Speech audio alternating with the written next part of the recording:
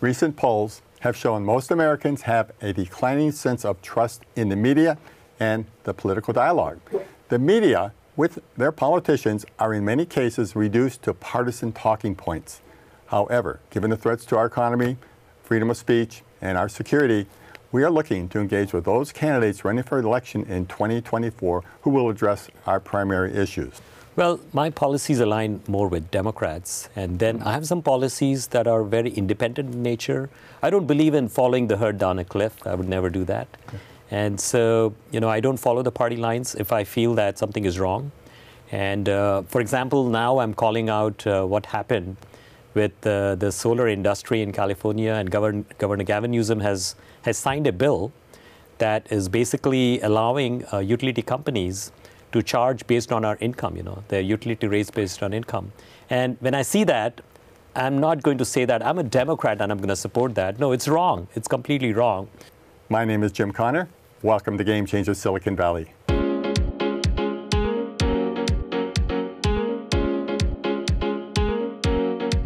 Today I'm pleased that Rishi Kumar, a candidate for California's 16th district in the House of Representatives, which includes a large part of Silicon Valley. Rishi, welcome to the show. Great to be here. I admire your perseverance. You've run for Congress several times and you're getting closer and closer each time. Let's go back and let you give us a little review. What happened in the last election? Did you see as moderately or somewhat successful and what do you plan to do going forward? Well, we expected to win, Jim, and uh, we didn't make it, uh, but we did better than any other challenger in the last 30 years. Last 30 years? 42%, uh, and uh, it was a low turnout election and uh, and uh, quite blessed to get so much support from our district. We had policies that resonated with people. We had policies on on housing, traffic, homelessness, about climate, about healthcare, and uh, you know we enjoyed the conversations we had.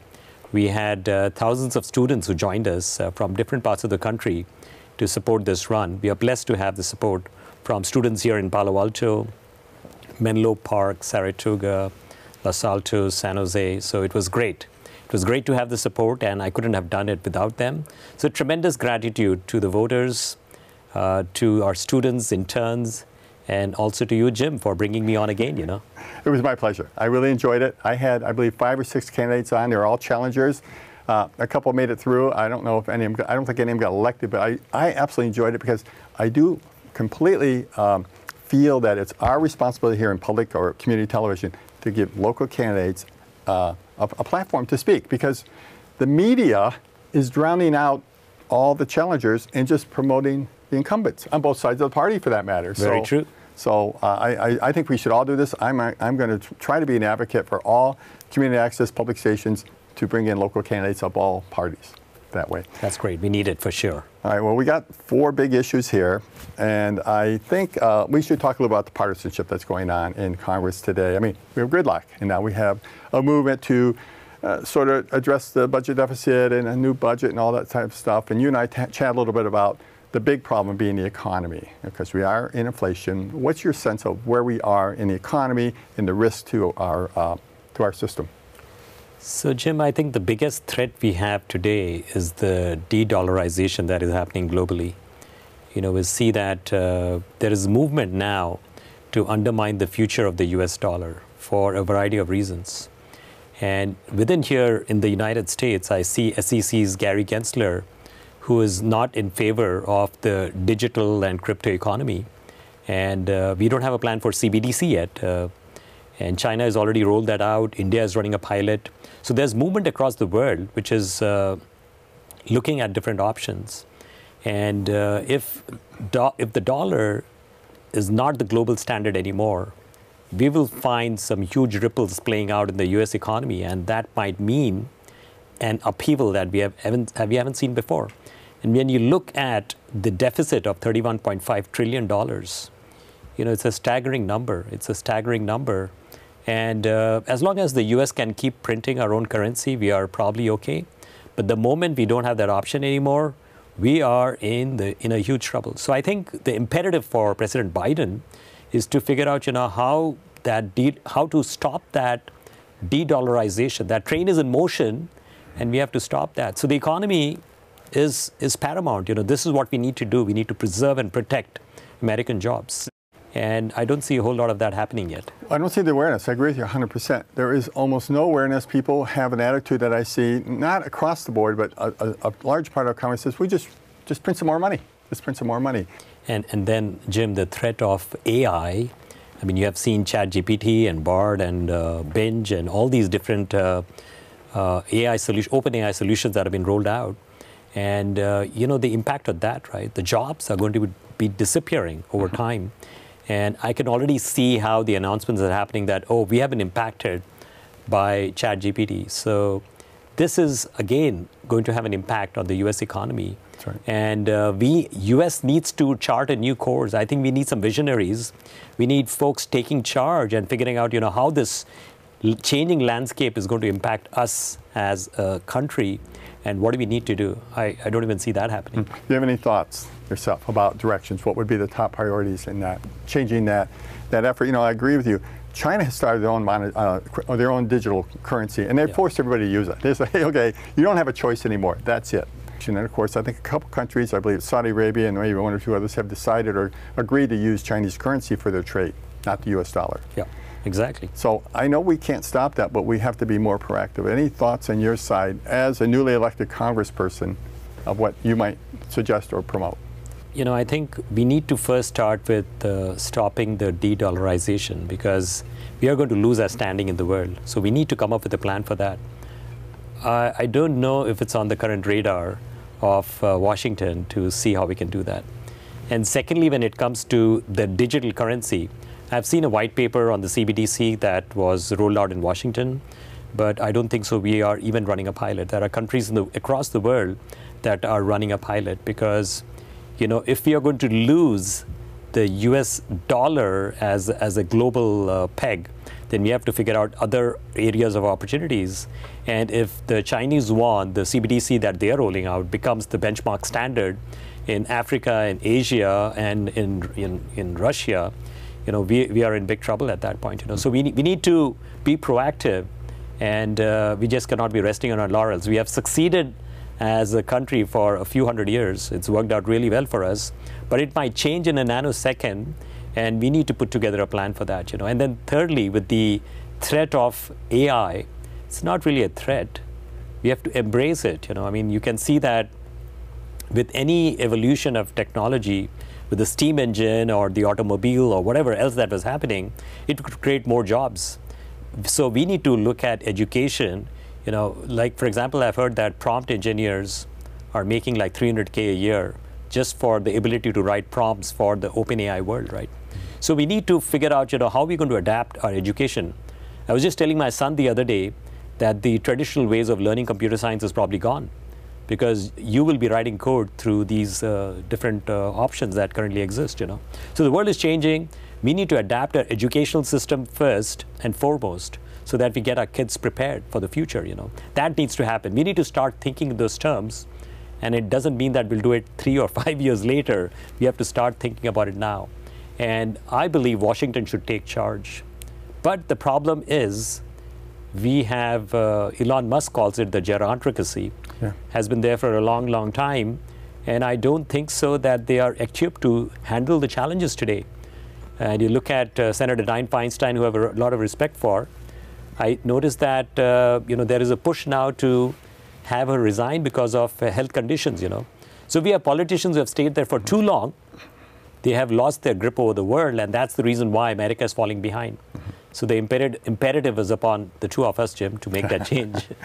well, I'm a, I'm a big fan, as you are, of term limits. I, I believe that, you know, at a certain age and a certain point, and uh, you know, I know many of the Congress people have been there many years, up to 30, 40 years, and both sides, both sides. Chuck Grassley's been there for a very long time. Um, Dianne's been, Dianne Feinstein, even uh, Anna Eshoo's been a very long time. I just think we have to have some new blood, and there seems to be a resistance on both parties to this inevitable change until they pass away, unfortunately. So uh, but I'd love to see newer people like you, uh, especially with a tech background. See, that's what's so important. You have people in Congress that have no idea what's going on. They barely use the internet, barely use email, and their staff do all this stuff for them. So I would hope that we as a society, the country, start to say, maybe I'm not the most technical person in the world, but I need someone in Washington who is, and, and have that have that be a, a, a key factor, and so on. And, and, you know, Jim, the other aspect of this is uh, the complete misuse of power.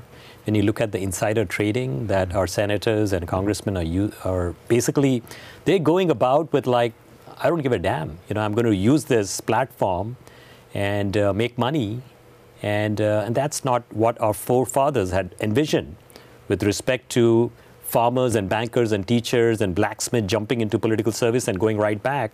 But this has become a very drastic story that's playing out.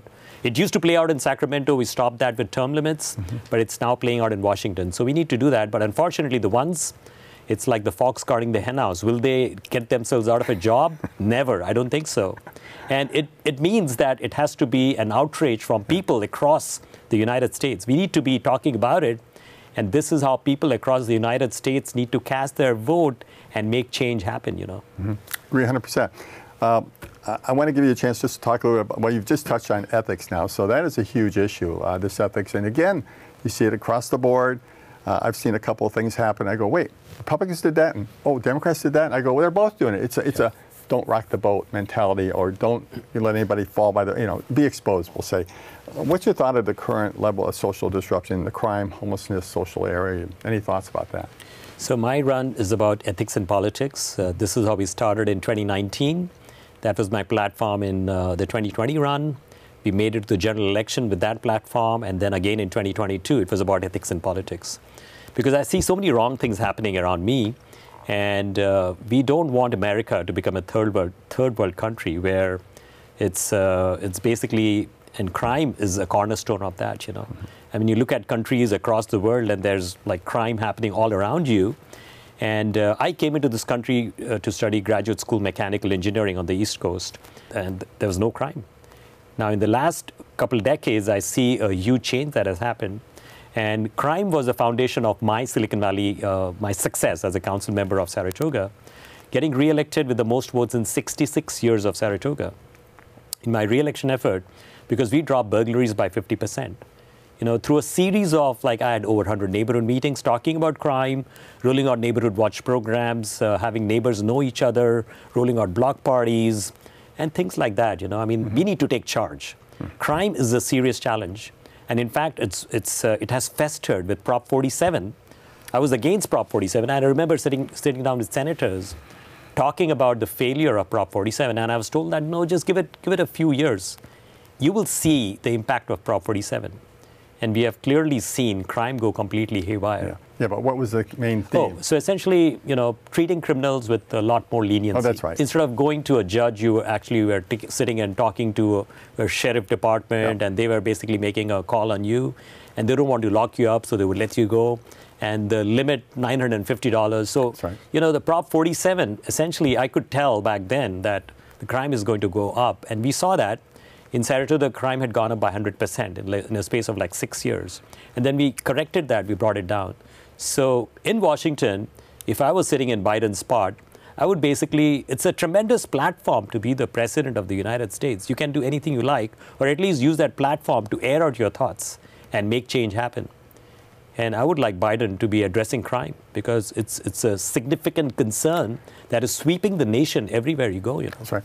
This crime issue, uh, especially this Prop 47, I, I, believe it's a misdemeanor up under $950 misdemeanor per person. Do you have any thoughts of how do you tackle such a big problem?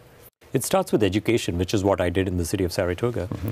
That uh, you know, here are simple things like like uh, you know i remember uh, i had a meeting uh, my office colleagues we were there in the city and uh, we, we are going to walk into our meeting area and we had parked the car on the, on the street. And I pick up my laptop bag and my colleague says, well, why don't, I, why don't you just leave it here, Rishi? And I was like, no, I just feel, I feel I want to take it. And I see those laptop bags sitting in the back seat and I'm like, something wrong with this? But, you know, I was like, we were thinking about the meeting. Uh, we walked in. We come back like an hour later, glass is shattered and all the laptop bags are gone. And so if we create simple best practices for watching out to, for our neighbors, not keeping valuables in the car. Like when we go to AMC Mercado, you know what we do, Jim? You know, we roll down our windows, we leave everything open, like, hey guys, take mm-hmm. whatever you want. Because what they do is they are smashing cars, you know. Mm-hmm. So it comes from at a local level, we need diligent engagement from our elected leaders, mm-hmm. Mm-hmm. from the city council and the counties across across the country. And then, you know, the onus is also upon Washington to change this because uh, things have gone completely haywire over the last, I would say, six, eight years. Things are really bad. And uh, we need to figure out a way to take control, but also provide the tools that local uh, city council members, local counties need. For example, like our city, we did not have a neighborhood watch program that was sort of regulated or even funded. But I personally rolled out 59 neighborhood watch programs in Saratoga. And then uh, when I was a council member, and then our city council decided that we should make it part of a program. Now it's a well-funded program. You know, we invite neighborhood leaders together. We talk about best practices. We have the meet with the sheriff. We are uh, helping out by putting uh, ALPR cameras. So it's a significant change that has happened in our city but it started from creating awareness and education. Mm-hmm. And so it needs funding too, because all these things, they, they, they, don't come cheap. So we need to create a funding model and get citizens engaged, because the more awareness we create, the better off we are. Yeah. I'm going to ask you about this. Um, the party you're representing, Democratic Party, I, I, if you don't mind me saying, they haven't treated you very well. That's my take, my honest opinion. Well, Jim, when you're a challenger, they will treat you badly, which is okay things change once you win and you're on the other side. I see. So you get the benefit if you're on the other side. But I'm I, totally okay with that. Treat me badly. Oh, okay. but it's uh, it's always tough. You know, you're running, and uh, you're, you're the, I think you're a great candidate myself. But have you ever thought about entertaining the independent platform? I mean, I would if I was you because you've got a strong Democratic base that follows you, and you've got independents representing somewhere between 30 and 50 percent now of the electorate. It's growing. And I just seems to me common sense that the candidate who engages the, the moderate independent platform voters is going to do pretty well. Yeah. Did that occur? Is that something you're thinking? Well, my policies align more with Democrats. And then I have some policies that are very independent in nature. I don't believe in following the herd down a cliff. I would never do that. Okay. And so, you know, I don't follow the party lines if I feel that something is wrong.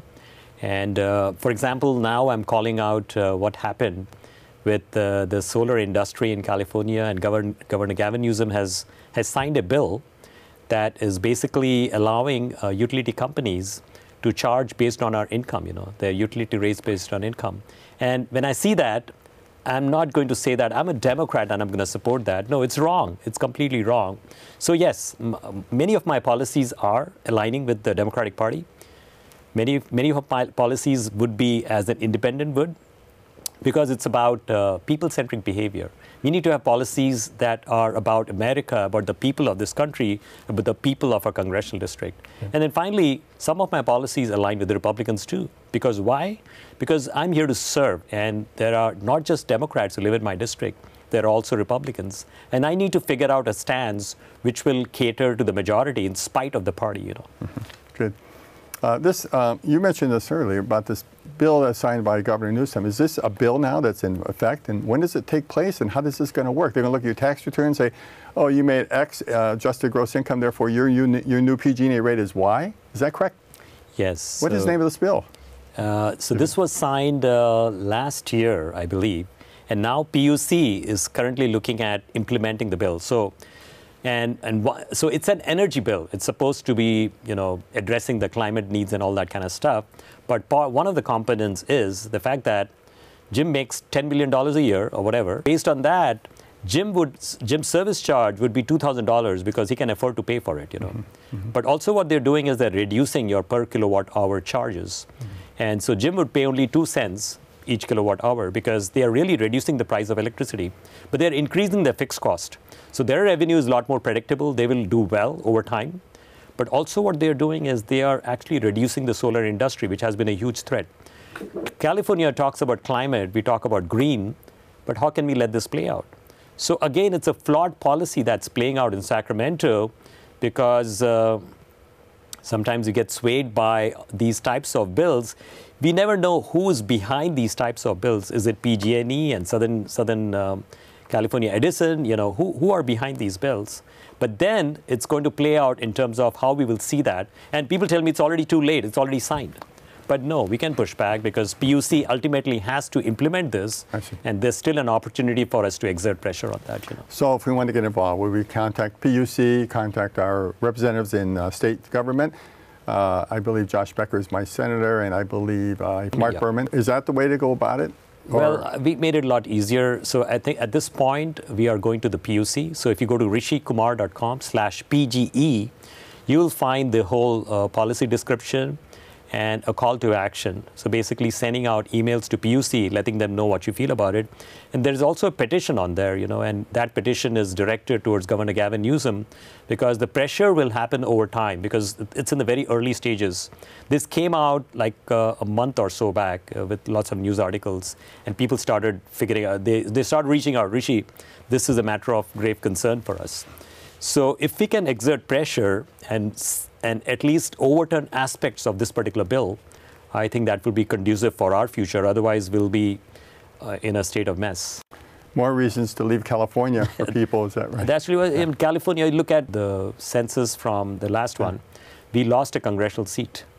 In in California, we have shrunk by one. Florida, Texas, they have gained, and in the next 10 years, we'll, we might lose another. You know, so the exodus is happening not only from here in Silicon Valley, but also across California. So let me uh, compliment you. I mean, you as a private individual, not in state or federal government, are running this program on your website to say what's going on with this PG&E measure and what, how we could register uh, our uh, concern about it through your website, Rishi Kumar slash PG&E.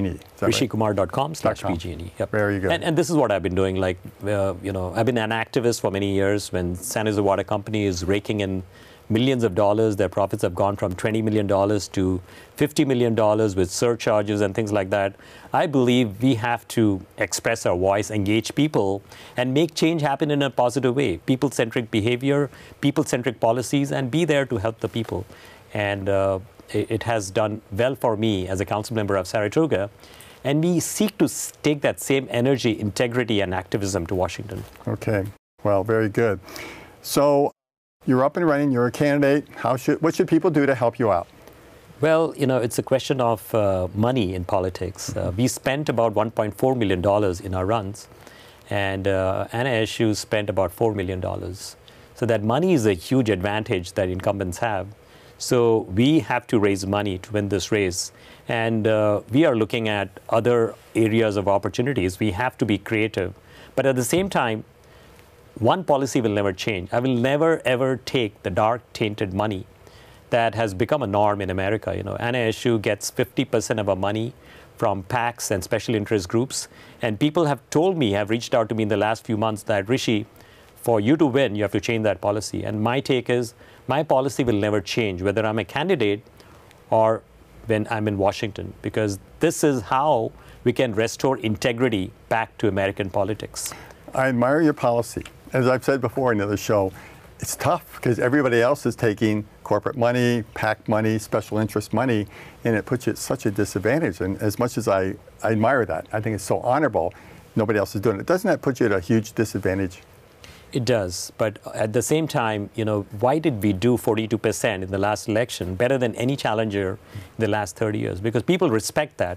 I would tell people that if they spend five minutes comparing and contrasting uh, Rishi Kumar versus the incumbent, it would the light bulb would click in their head that they need to vote for Rishi. Well, you've been outstanding again. I really enjoy you on the show here. You're so um, insightful, honest, high integrity. You have your principles and you, you stay by it. So, and you know what's going on in the government. So, and the demonetization of the dollar also. So, I want to uh, uh, just uh, express how do people follow up? Is it mainly the website? Correct. RishiKumar.com. Follow me on Twitter, on Instagram, Facebook, social media. All the same thing, Rishi Kumar. Yeah, Okay. rishikumar.com. Well, you'll find all these links through rishi, Okay. Okay. Yeah. I want to wish you every success going forward. I thank you for your uh, time today, and I uh, look forward to the 2024 election. Thank you, Jim, for inviting me back. Thanks for joining us in this episode. If you gain insights from this conversation, share this show with your network. You can view all shows at our website, gamechangers.tv, as well as the podcast at Game Changers Silicon Valley. We look forward to your continued interest in upcoming shows.